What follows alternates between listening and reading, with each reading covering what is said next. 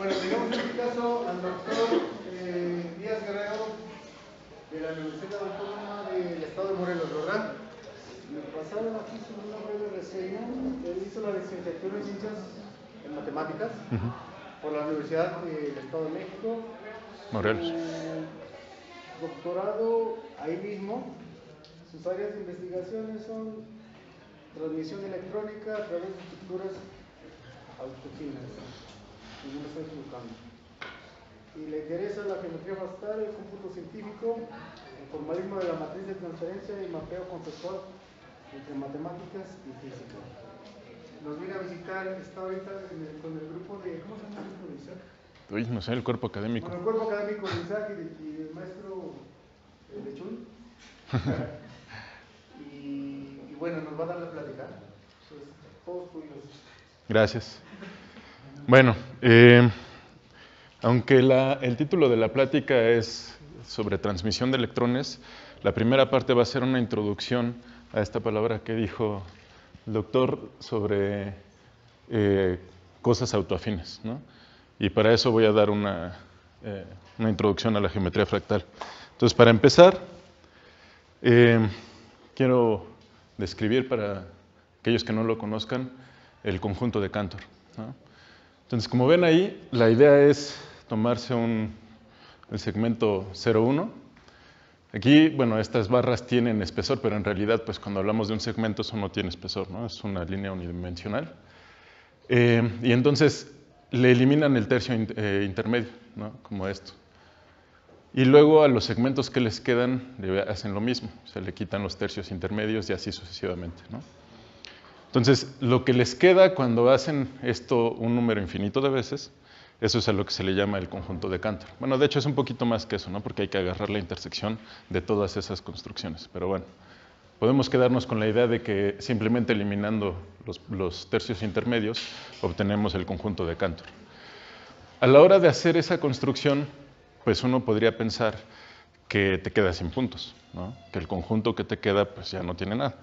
En realidad no, porque si se fijan, por ejemplo, eh, el 0 y el 1 siempre van a estar. ¿no? Y así, o sea, por ejemplo, el 1 tercio y el 2 tercios siempre van a estar. Entonces, en realidad no se quedan sin puntos. Ese conjunto tiene muchos puntos y, de hecho, tiene un número eh, infinito de puntos. Y, de hecho, es no numerable. ¿no? O sea, se puede demostrar que tiene la misma cardinalidad, donde cardinalidad en este caso me refiero al número de puntos que los reales. ¿no? Eh, ah, por cierto, si me quieren interrumpir en cualquier momento, no hay problema. ¿eh? Las preguntas es mejor luego, luego. Y bueno, esa es una de sus propiedades. Y la otra es que es autosimilar. Donde autosimilaridad me refiero a esto. ¿no? O sea, tenemos el- la construcción. Aquí está seleccionado, bueno, eh, enmarcado toda esta parte de la construcción, pero en realidad no es que todo esto sea el conjunto de Cantor. ¿no? Aquí era por claridad. Pero la cosa es que esto, pues, si lo sacan, después tienen esto y es muy, eh, bueno, de hecho es similar al original. ¿no? A eso nos referimos con autosimilar. Eh, hay, ¿cómo decirlo? Hay conceptos, hay definiciones formales para estas cosas de autosimilar y todo esto que estoy mencionando, pero no lo quiero eh, poner en, ese- en esos términos. ¿no? Em, bueno, entonces, a grandes rasgos ya sabemos qué es el conjunto de Cantor, ¿sale? Y ya sabemos más o menos qué- a qué nos referimos con autosimilar. Si tomamos un pedacito, sí, a eso vamos, justo a eso vamos. Sí, de hecho sí, el conjunto de Cantor es un fractal, efectivamente.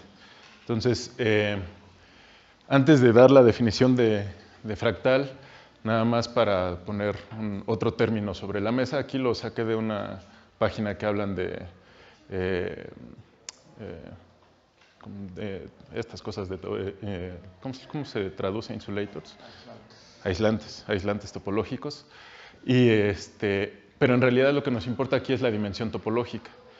Y la dimensión topológica no es otra cosa que la dimensión que ustedes ya conocen. Entonces, un punto, aquí hablan de un punto cuántico, pero bueno, un punto en general, el concepto abstracto de punto, pues tiene dimensión cero. ¿sale? Una recta tendría dimensión 1, un plano dimensión 2, un volumen 3 y etcétera. Si nos vamos a un hipervolumen, pues entonces tenemos dimensión 4 y así podríamos seguir. Em, la cuestión sería entonces, si pensamos en el conjunto de Cantor que dijimos que era un conjunto de puntos, pues en principio debería de tener dimensión 0. Y de hecho sí, la dimensión topológica del conjunto de Cantor es dimensión 0 porque son puras cosas de estas, ¿no? son puros puntitos. ¿Sale? Pero hay otra forma de definir dimensión, que es la dimensión de Hausdorff, que para todos estos, para todo este tipo de, objetos geométricos, coinciden, ¿no? la, dimensión de Hausdorff y la topológica. Pero para cosas como el conjunto de Cantor no coinciden. ¿No? Y de hecho es mayor eh, la dimensión de Hausdorff que la topológica. Y eso permitió em, dar la definición que nos eh, heredó, digamos, este Mandelbrot, que básicamente es esta, ¿no? en, breve, digamos, en pocas palabras, tenemos un conjunto y se dice que ese conjunto es un fractal si sucede esto, que la dimensión de Hausdorff, que aquí la pongo como dim sub h, de ese es mayor, estrictamente mayor, que la dimensión topológica del conjunto. Entonces, y de hecho eso sucede para el conjunto de Cantor. El conjunto de Cantor tiene dimensión eh, de Hausdorff aproximadamente 0.60 y algo, que es mayor que cero. Entonces cumple esta, esta definición. Y ya está, ¿no? Entonces tenemos el primer fractal, digamos, y no es el único, ¿no? Hay muchos este, ejemplos de fractales. Aquí, por ejemplo, les pongo unas, algunos ejemplos, el triángulo de Sierpinski, la curva de Von Koch y algunas variantes de ellos. ¿no? Aquí ¿Cuál es la diferencia entre este tipo de fractales y, el conjunto de Cantor? ¿Dónde se toman, eh, digamos, el iniciador, el, conjunto del que parten? El conjunto del que parten para el conjunto de Cantor pues es la recta, es un segmento de recta. Aquí, por ejemplo, pues, se toman cosas bidimensionales. Entonces, esa es básicamente la, diferencia y obviamente pues la dimensión de estas cosas va a ser diferente, va a ser uno punto algo y de ese estilo. ¿no? no me voy a meter más en, eso, nada más eran algunos ejemplos. Y bueno, antes de, antes de, pasar a la siguiente parte, eh, es un, un, dato curioso, es que Mandelbrot, Benoit Mandelbrot, eh, él fue el que popularizó esto de los fractales. ¿no? De hecho, tiene varios libros y artículos al respecto y tiene un conjunto que lleva su nombre que ya no les puse aquí porque pues es, mucho rollo estar hablando de eso y nos vamos a desviar demasiado.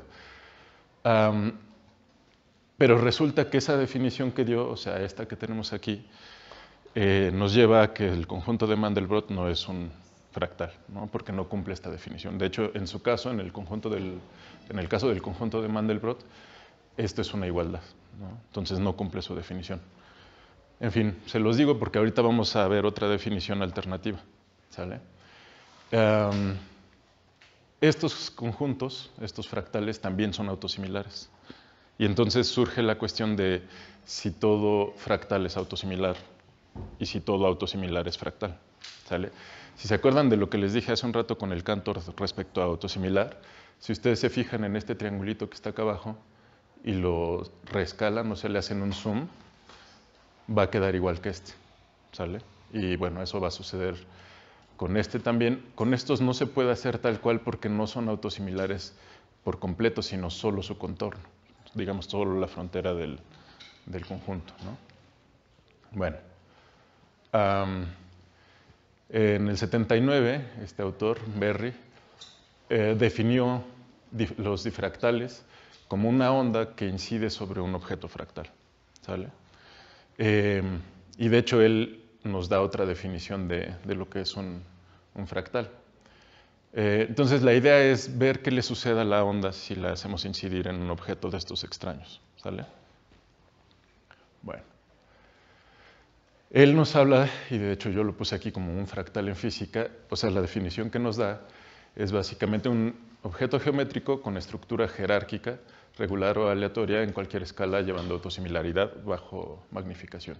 Y otra vez como ejemplo, pues el triángulo de Sierpinski. ¿okay? Eh, fíjense la diferencia, ¿no? aquí no, no, tenemos que medir la dimensión de nada. eh, esta definición es un poquito más operativa. Si nosotros encontramos un objeto geométrico que cumpla esto de tener estructura básicamente a cualquier escala y tiene autosimilaridad, entonces lo podríamos considerar como un fractal. Y de hecho eso sucede mucho en física. O sea, en física no podemos estar calculando la dimensión de todas las cosas que obtenemos, sobre todo mediciones y cosas así. Bueno, eh, entonces, uy, ahora vamos a pasar a los materiales de los que vamos a, calcular transmisión. El primero es el grafeno, que supongo que algunos de ustedes ya lo conocen. Y bueno, si no, básicamente lo podemos pensar como una red de átomos de carbono. ¿sale? Entonces, este material pues, es una monocapa de espesor atómico. ¿sale? Si se fijan, no hay hacia abajo más átomos, nada más están los que están aquí enlazados. ¿ok? Bueno, este material tiene un montón de, propiedades especiales. De hecho, fue tan novedoso que le, valió el premio Nobel a sus descubridores. Esto lo descubrieron, si no mal recuerdo, por ahí del 2004 o algo así, y les dieron el Nobel en el 2010, me parece. Y curiosamente también les habían dado el Ig Nobel. ¿Saben qué es el Ig Nobel? Que es este como que para los descubrimientos que no sirven para nada. Primero les dieron el Ig Nobel, como en el 2008 o algo así, y luego les dieron el Nobel. Lo cual es muy raro, ¿no? Que primero les den el... Pero bueno. En fin, ahora ya voy a entrar a, un poquito más a lo que... a, unir los dos temas, ¿no? Em, los fractales en física han sido como perseguidos o los han tratado de estudiar desde hace mucho tiempo, pero casi siempre ha sido solo un ejercicio teórico. ¿no? no ha sido, bueno, no había sido posible hacerlo experimentalmente. De hecho, eh, a más o menos a mediados del siglo pasado, un poquito después, como los 60, eh, Hofstadter, en su tesis doctoral y el artículo asociado, propuso, bueno, más bien encontró esta, esta gráfica que es, ahora se le llama la mariposa de Hofstadter. Y de hecho se presume, bueno, de hecho se afirma que es un fractal también. Digo que se afirma porque pues no, yo no sé si realmente le han calculado la, la eh, dimensión de Hausdorff a esta cosa y ver si realmente cumple lo que dice Mandelbrot. Pero si nos fijamos, o más bien usamos la definición de Berry, pues sí, claramente es un fractal, ¿no? porque esta cosa tiene eh, estructura a cualquier escala aquí, aquí y aquí, o sea, en todas las partes oscuras. Si uno va haciendo un zoom arbitrario por aquí, vas a seguir encontrando estructura siempre. ¿Sale? Es jerárquica y todo eso. Bueno, en el 2013, estos grupos, eh, que fueron tres artículos de, muy, muy alto impacto, hicieron experimentalmente eh, la demostración de que esto sí es, no es solo un ejercicio teórico. ¿okay? Se encontraron la, mariposa de Hofstadter experimentalmente. Entonces se podría decir que encontraron un fractal experimentalmente. Y bueno, eso pues le dio una vez más eh, realce a, esto de usar los fractales en física. ¿Ok? Bueno, ahora eh, esto de los fractales en física tiene sus, límites, ¿no? sus, sus problemas. Por ejemplo, si, queremos, si quisiéramos hacer una estructura geométrica usando algún material que fuera fractal, pues tenemos un problema grave, ¿no? Porque nos dice Berry, y está implícito en la de Mandelbrot, que debería de tener estructura a cualquier escala de magnificación. Pero si nosotros magnificamos demasiado en una estructura que tiene sentido físico, pues vamos a llegar a nivel atómico, ¿no? Y ahí, pues, ¿cuál estructura? ¿no? Bueno, ya va a haber estructura, pero ya de otro tipo, ya no la que nosotros le imponemos. Aquí, por ejemplo, les presento un potencial.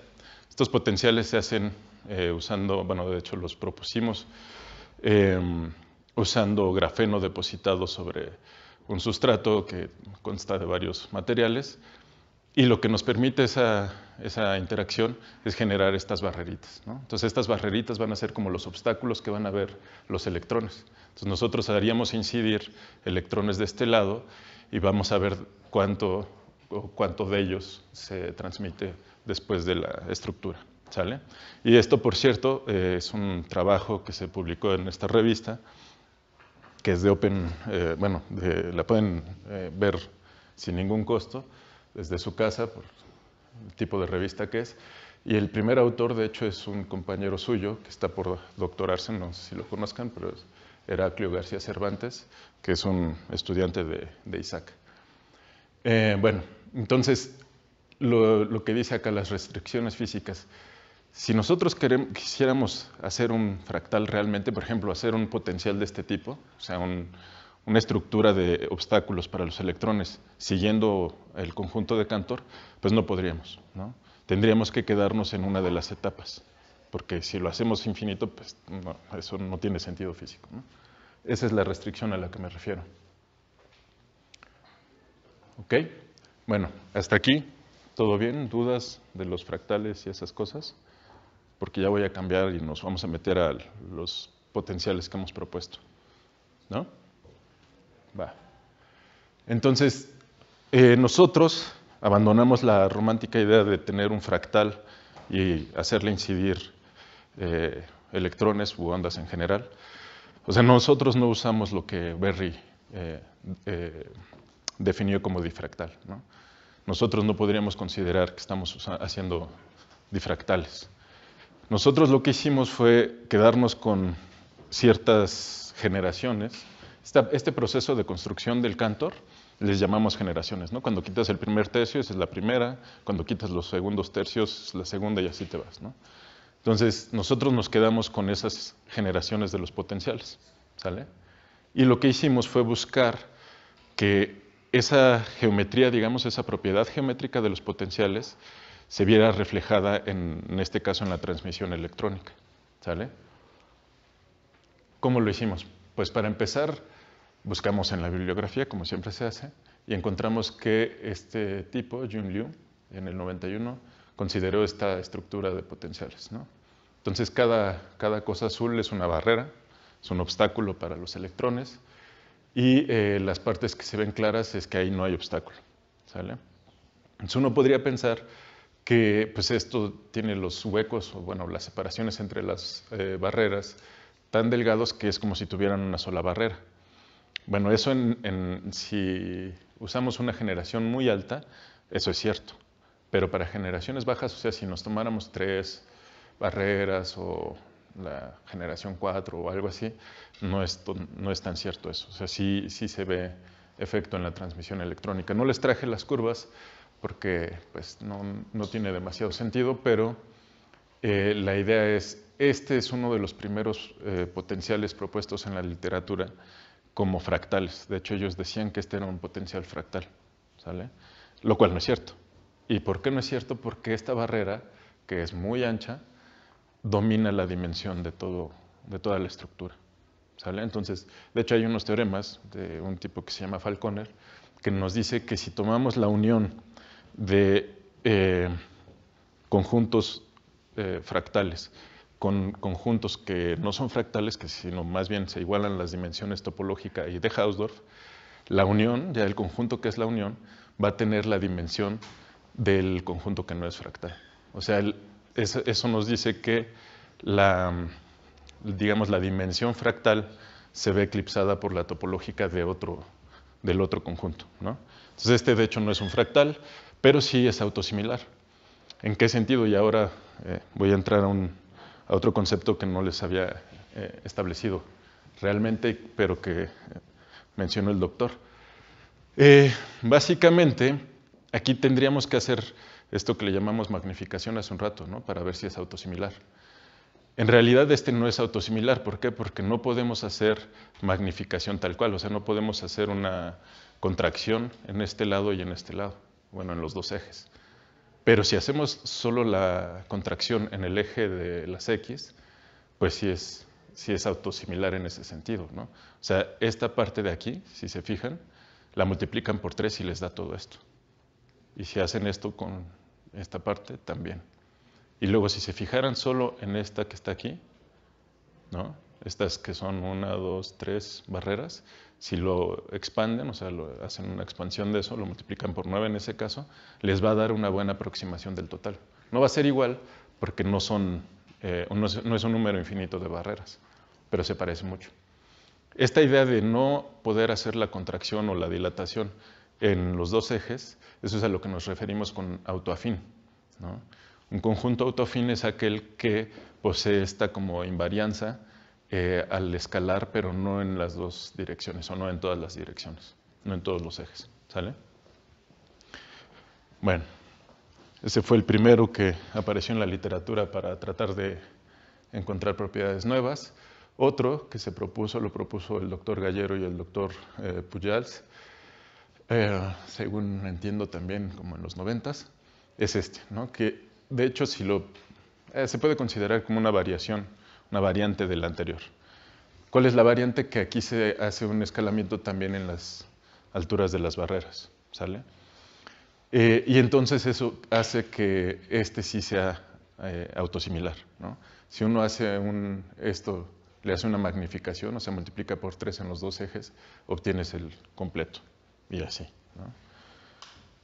¿Qué es lo que pasó con estos dos potenciales? Que las propiedades físicas que se consideraron, en este caso la transmisión y otras cosas, no nos dieron nada. O sea, no encontramos realmente un rasgo que dijera, ah, mira, este nos, deja ver que no viene de un, de un potencial eh, usual, digamos, ¿no? un potencial periódico, algo así. O sea, evidentemente es diferente, pero no tiene algo que realmente lo caracterice.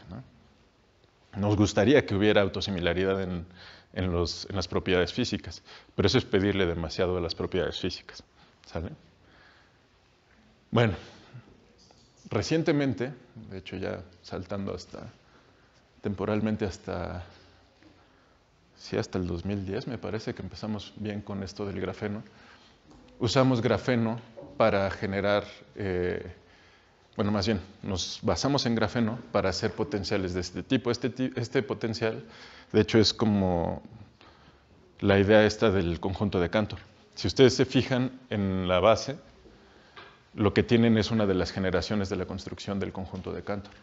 ¿okay? Y bueno, lo único que se hace es que en cada segmentito que está en la construcción del conjunto de Cantor se pone una barrera. ¿okay? Y entonces lo que hicimos fue eh, pues sí, ¿no? hacerle incidir de este lado electrones y ver cómo era su transmisión.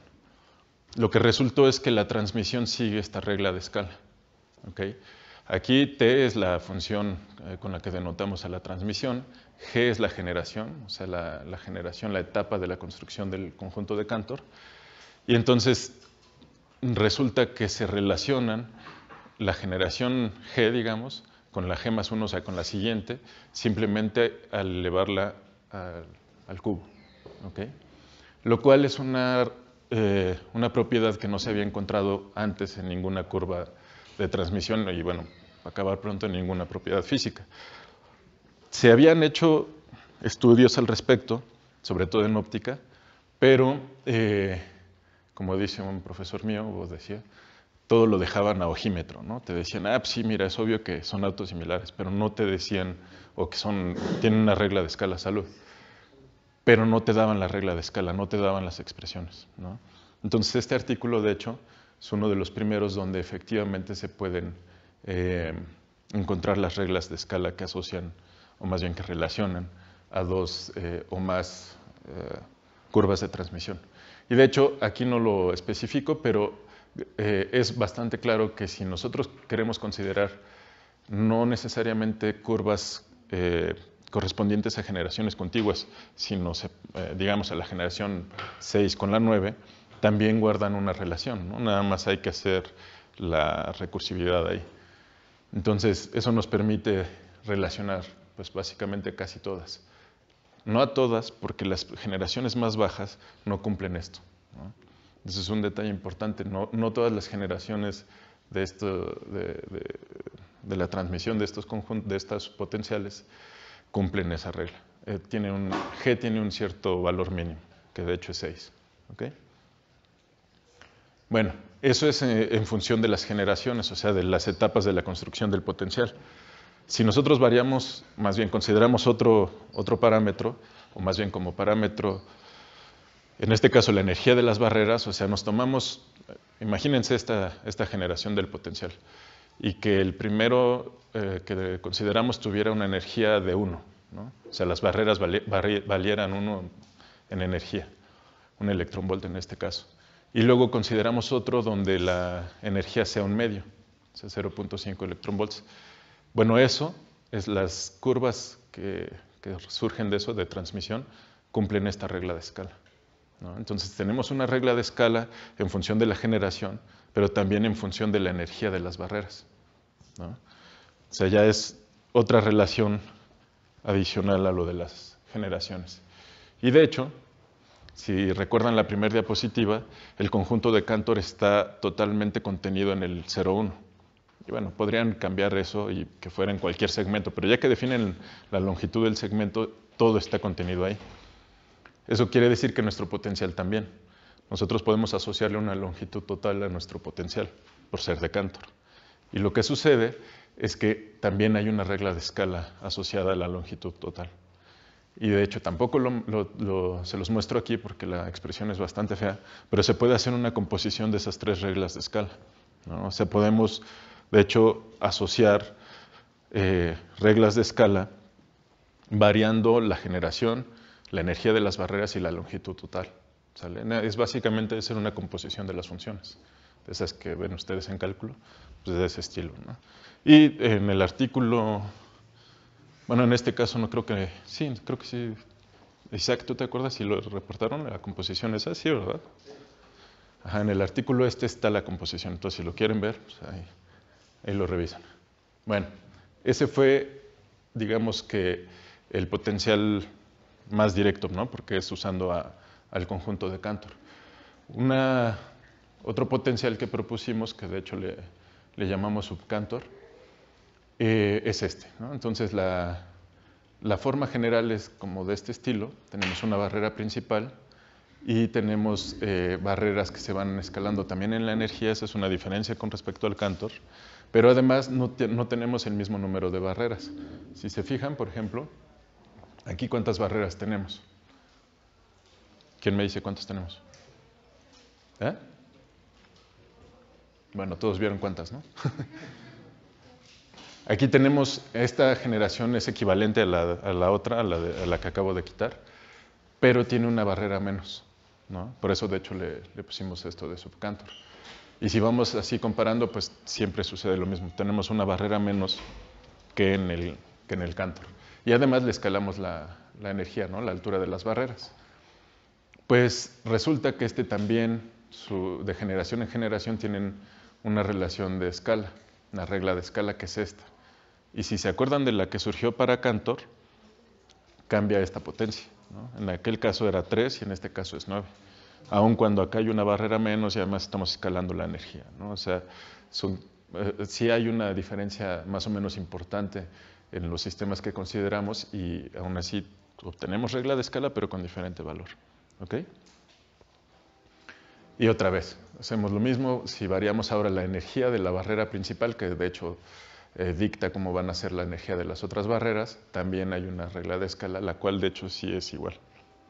Si se fijan, esta expresión es igualita a la otra, la del el caso de Cantor, cual también es sorprendente. ¿no? Eh, bueno, y también tenemos una regla de escala para la longitud total. Y en fin, entonces sucede lo mismo, nada más que eh, con eh, un sistema diferente. ¿no? O sea, el sistema multibarrera es, es ligeramente diferente. Ah, bueno, antes, este potencial, eh, supongo que se dan cuenta que no es simétrico con respecto al centro de la estructura. Si uno tratara de hacer una reflexión de aquí para acá pues no se, no se empalman las, las estructuras. ¿no? Eso me refiero con que no hay simetría con respecto al centro de la estructura. Lo que hicimos fue proponer otro potencial, aquí el potencial está en blanco, donde sí fuera simétrico con respecto al centro de la estructura. Pero además lo dejamos, aquí ya no está fija la longitud total. ¿sale? Aquí lo dejamos, de hecho las barreras todas tienen eh, el mismo ancho, y lo que hacemos es vamos agregando más barreras, pero con menor energía. Entonces eso hace que la longitud total del, sistema crezca, pero bueno, sigue siendo autosimilar, de hecho, Aquí, si ustedes hacen un zoom de esta cosa y lo escalan, entonces van a tener el, el total. Y buscamos también reglas de escala. De generación en generación también tenemos esas reglas de escala, pero son bastante diferentes. ¿no? O sea, la, la función de transmisión sí se relacionan, pero fíjense cómo es. Si aquí pusiéramos n igual a 1, ¿cómo nos quedaría? Pues que y si se agarran g igual a 6, pues les diría que la transmisión para la sexta generación es prácticamente igual a la transmisión en la generación 7, pero si multiplican por 2 la energía de la, de la transmisión, eh, del electrón para la transmisión 7, ¿no? la generación 7. Eh, entonces, tenemos una regla de escala, pero diferente. Y eso nada más porque lo hicimos simétrico con respecto al origen y además lo, lo dejamos crecer. ¿Sale? Bueno, eso fue como que los logros que hemos obtenido en grafeno, que fue ese material que les presenté hace un rato, así muy, muy por encimita. Y lo que queremos hacer ahora es trabajar con siliceno, que es otro material muy similar, pero que tiene eh, diferencias eh, importantes. ¿Por qué queremos hacer eso? Porque queremos ver si las reglas de escala y esto que hemos eh, encontrado en grafeno es particular del grafeno, o sea, el, material nos está ayudando a que suceda esto de encontrar las reglas de escala, o si es una cuestión realmente de la geometría de los potenciales que nosotros propusimos. ¿Ok? Bueno, esa imagen se ve muy mal, pero bueno, la idea es que el, siliceno es como el grafeno, pero con átomos de silicio. Si se ve desde arriba la, la red esta de siliceno, también es hexagonal. Pero como ven aquí, y si no se ve aquí en la siguiente, creo que se va a ver mejor, eh, hay una diferencia. Aquí, por ejemplo, tenemos arriba el, grafeno y abajo el siliceno. La vista del lado del, material pues quedaría así. Entonces, en el caso de grafeno se ve nada más así como una, una capa. Y aquí hay una diferencia porque estos no están alineados. Y eso es, eso es una propiedad de este material. No todos los átomos están sobre el mismo plano, sino hay como dos planos. Eso bueno, trae consecuencias físicas ahí importantes, pero no nos vamos a meter en eso. En este caso ya, aunque ya dormí como a 10, voy a hablar de el marco teórico, entonces les voy a decir algunas cosas un poquito más técnicas, pero no se preocupen demasiado. No, me voy a tardar ya mucho. Eh, y lo que quiero que vean en lo que sigue, a pesar de que va a estar medio aburrido, es pues lo que hay que hacer para hacer esos cálculos, ¿no? Porque los cálculos que les presenté para grafeno, pues parecen muy simples y así. En realidad el trabajo que hizo Heraclio y que hicimos todos en eso, pues es bastante, bastante pesadito, ¿no? No es difícil, pero sí hay que, sí hay que talacharle bastante. Entonces, lo primero es que se tienen que definir eh, cómo se van a calcular eh, la transmisión para los para los potenciales. Entonces, para eso lo que se hace es usar la cosa más simple que tenemos en, estas cosas de los potenciales, que es una sola barrera. Si ustedes consideran una sola barrera, lo que, lo que pueden hacer y lo que usualmente se hace es considerar tres regiones. La región antes de la barrera, en la barrera y después de la barrera. Eh, usualmente lo que se hace es que si uno quiere encontrar una función que nos va a describir la transmisión eh, en, todo en las tres regiones, pues tienes que, bueno, lo que puedes hacer es primero definir las funciones que describen transmisión en las tres regiones por separado y luego eh, encontrar alguna manera de acoplarlas, de unirlas. ¿no? Y eso es a lo que vamos con lo siguiente, que son las condiciones de continuidad. Está claro que, bueno, si lo ven en las en las desigualdades de aquí está claro que esto sería discontinuo. ¿no? O sea, si tenemos aquí, o sea, eh, phi de b o phi sub b, eh, llega, toca los dos a x0 y a x1, ¿no? Phi L no toca a x0. ¿no? Se aproxima todo lo que quieran, de hecho es un límite y lo que quieran, pero no lo toca. Entonces ahí hay una discontinuidad y aquí hay otra. Entonces por eso, por esa razón, luego hay que eh, definir las condiciones de continuidad. Antes nada más para que vean las, cosas con las que trabajamos, tenemos esta, esta es de esta forma, ¿no? Eh, es una suma de, de, exponenciales, y de hecho aquí, aquí falta un signo, esto está mal, perdón, falta un signo a, la exponencial y bueno, em, Y ahí está la, la última función de onda. ¿no? Esas son las que le, le vamos a imponer las, eh, las, condiciones de continuidad. Entonces esas se escriben así eh, en forma compacta como L en X0 tiene que ser igual a phi B en X0. ¿Qué quiere decir eso? Que estas dos deben de ser iguales cuando yo las evalúo en phi 0, en X0, perdón. ¿Ok? Eso pues nos va a dar eh, algunas cuestiones de, algebraicas en, en, todos los argumentos donde va X. Y eso es lo que hay que trabajar. ¿no? Y luego la otra pues es lo mismo, pero en X1 para phi B y para phi R. Eso, no sé si se alcanza a ver de estas. Esto lo podemos escribir ya la condición de continuidad en forma matricial. Y de hecho eso nos permite hablar de lo que es el formalismo de matriz de transferencia, que no es otra cosa que esta idea. Aquí en realidad esta ML es una matriz cuyos componentes son bastante feos, digamos, ¿no? pero se puede trabajar. Y la idea es, si ya lo tenemos en esta forma, nosotros podemos eh, encontrar una ecuación equivalente para la otra discontinuidad. ¿no? Es como tener una matriz para la discontinuidad en x0 y otra para eh, la discontinuidad en x1. Y entonces lo que hacemos es pues, eh, sustituir la, esto aquí. Y entonces ya tenemos un producto de matrices que nos relaciona a los coeficientes antes de la barrera y después de la barrera. ¿Okay? Y eso es lo que le llamamos la matriz de transferencia, que aquí parece muy simple la T.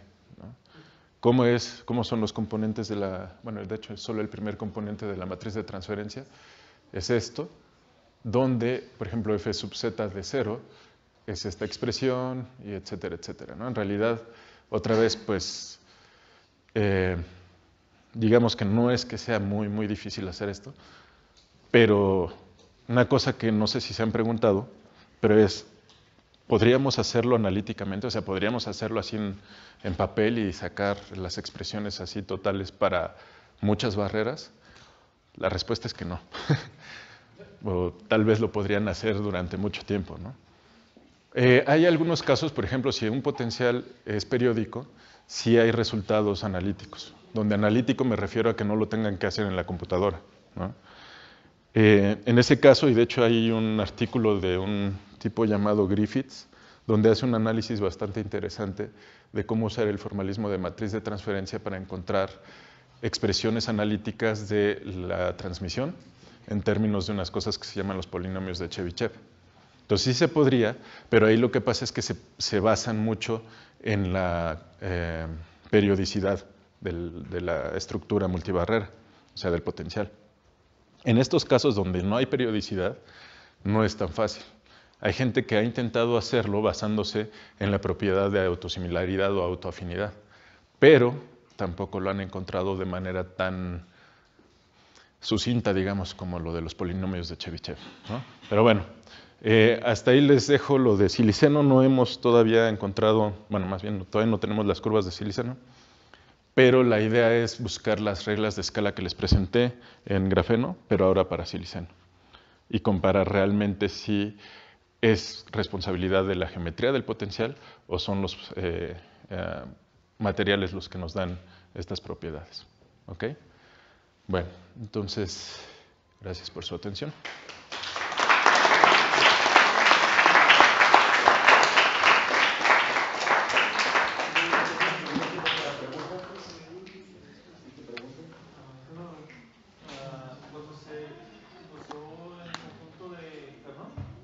¿De quién? De, Genón. Ajá. Ah, lo hicieron, lo hicieron sabiendo, bueno, ¿por qué se usaba ese conjunto otro? Ah, aquí hablas del primero que puse. Ajá. Ah, pero ese es Cantor. Ah, sí. Sí, sí, es que sí, también hay otro, otro cuate llamado Genón que tiene un, un atractor, de hecho. Bueno, en realidad sí, un atractor es algo de sistemas dinámicos. Eh, ¿Por qué el Cantor? Es una buena pregunta, no tengo ni idea, pero es que es uno de los fractales más simples. ¿no? Y yo creo que esa es la razón eh, por la cual casi todo el mundo empezó por ahí. ¿no? Porque es muy, muy simple, además es unidimensional. Bueno, vive en un espacio unidimensional y etcétera. ¿no? Entonces, y la construcción, como vieron, es muy, muy facilita. Cuando te metes a fractales un poquito más complicados, las, las reglas de construcción no son tan simples. Entonces ahí entras en, en más cuestiones. ¿no? Sí, yo creo que sería por eso. ¿Otra pregunta? Pregunten. Eh, ¿Han comparado los resultados con este fractales con algo que no sea fractal? Con barreras que no tengan un... Sí, o sea, bueno, tal cual comparar no, pero, o sea, por ejemplo, se conocen los de eh, potenciales periódicos, ¿no? Y esos tienen una forma muy particular porque eh, como que la transmisión ahí tiene como regiones de conducción, bueno, de transmisión, perdón, y regiones donde no se transmite. En realidad no son así tal cual continuas, pero hace muchas oscilaciones en una región de la energía y luego si avanzas en la energía hay un, hueco de, transmisión. Y casi todas las periódicas tienen ese, ese comportamiento. ¿Son mejores en el sentido práctico es- estos fractales o comparados con los periódicos? ¿Son qué mejores? Dijiste? mejores, digamos, bajo o, o con Ah. más la tran- mejor la tran- Pues lo que pasa es que sí difiere mucho y como no puse las curvas no se ve, pero para potenciales como los que usamos, la transmisión típicamente crece muy rápido. Los, los periódicos lo que hacen es esto de que la limitan a ciertas partes. No siempre se queda, digamos, arriba de 0.8. Y en muchos de los este, autosimilares o autoafines sí sucede eso, ¿no? que la transmisión se queda muy arriba. De hecho, este hay un teorema por ahí que te dice que todos los sistemas autosimilares te mejoran, Ah, sí. te, te, te amplifican las propiedades físicas de los sistemas, comparado con los periódicos. ¿Otra pregunta? ¿No? Una pregunta, un comentario nada más. Pues esto de la escala es algo que nos ha llamado mucho la atención y va más allá de, tratarlo con este tipo de electrones especiales. O sea, por ejemplo, uno pensaría eh, un ratón con respecto a un elefante. cuánta cantidad de energía eh, requiere poesía para hacer esta actividad. Y la escala es muy, muy engañosa. Uno tiende Sí. pensar de manera lineal. Ujú. Siempre uno dice, bueno, pues si este le gana 10 con 10 veces, pues va a necesitar 10 veces la energía. Y resulta que no, que la naturaleza se las arregla para darnos comportamientos no lineales. Ujú. Los árboles también crecen de manera autosimilar, los bosques parecen que son autosimilares, un montonal de redes. Con... Nuestro cuerpo es un, está compuesto de, de redes complejas, ¿sí? el sistema circulatorio, respiratorio, todo. Y, resul- y tal parece que, que es de esa manera para optimizar. ¿sí? Incluso las ciudades, las ciudades eh, ahorita se están tratando ya como organismos vivos, no como entes eh, porque son autosustentables. ¿sí? Hay preguntas así muy básicas. ¿Cuál es la velocidad promedio en Nueva York de un habitante con respecto a uno aquí en Zacatecas? Ujú. ¿Sería lineal en proporción al tamaño de la ciudad? Y no. El, el ingreso, ¿sí? promedio. Ujú. Y resulta que no, que hay un montonal de propiedades que son no lineales. Entonces aquí nosotros estamos trabajando en un aspecto eh, de sistemas físicos, cómo esos electrones eh, cambian sus propiedades al cambiar la cambiar, al cambiar la escala de una manera muy particular que es similar. Sí. Eso es, eh, y lo que resulta es algo que no, no se había reportado y es lo que estamos muy, este, muy interesados. ¿no? En Zacatecas es preguntarse qué pasa si la, si la ciudad será autosimilar, autosustentable. Es un desastre ir de, sur, de acá de Guadalupe a, a Zacatecas, al, campus, ¿no? Ujú. a la ciudad gobierno. Y tal parece que las ciudades solitas se van a organizar de manera autosimilar. Nada más era un comentario donde el trasfondo es, este, es mucho más rico y no es el único problema que nos interesa en términos de escala y de autosimilitud. Eh, una duda, en el caso del grafeno está estudiando la transmisión de electrones. En el caso del siliciano, igual o de spin. No, no, también transmisión de electrones. Eh, mi pregunta era, por- eh, entonces, ¿por qué se ven en las ecuaciones del, del términos que pertenecen a la integración. Sí, bueno, de hecho, eh, podríamos eh, haberlos eliminado eligiendo un spin y ya, ¿no? pero eh, por generalidad usamos las expresiones así. Sí, pero en realidad, bah, evidentemente, la idea para los que se especializan en eso, o sea, por ejemplo, Isaac sí tiene la idea de después ver qué pasa con esto de los spins, ¿no? Pero de inicio no, de inicio nuestra idea es la comparación con lo de grafeno. ¿no? ¿Y en la estructura de banda hay alguna diferencia entre grafeno y Sí, sí, sí, sí. Ahí yo creo que te lo podría responder mejor Isaac, pero sí, sí hay una, una diferencia importante, ¿no? De hecho, el, el- en el siliceno pues sí hay gap, ¿no? En grafeno no hay. Entonces, Supongo que sea por la diferencia ¿no? entre la banda spin órbita y, y la banda que quieren estudiar. Entonces, un tipo pues la verdad que no lo sé si sea por eso, ¿eh? Pero sí, evidentemente sí es, sí es una diferencia y, además esa eh, diferencia nos importa mucho para distinguir si el, digamos, la contribución del material a estas reglas de escala. O sea, si, encontramos algo bueno, sí nos vamos a meter a buscar si esas propiedades son las que nos dictan esto. De hecho, ahora está en la discusión aquí entre los, los- las eminencias de aquí de Zacatecas, este, de que sí es una cuestión de simetría, de romper simetrías en los, en los eh, materiales. ¿no? Pero yo creo que primero hay que encontrar en siliceno y en otros las propiedades que ya encontramos en grafeno para poder estar eh, viendo bien si la simetría del, del material, romperle la simetría al material es realmente responsable o no.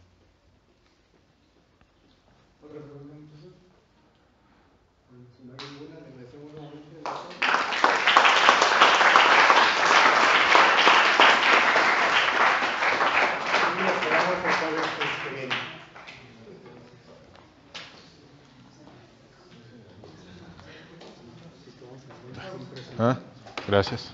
Este, muchas gracias por la, constancia. Gracias. Muchas gracias. Estuvo interesante. ¿Sí?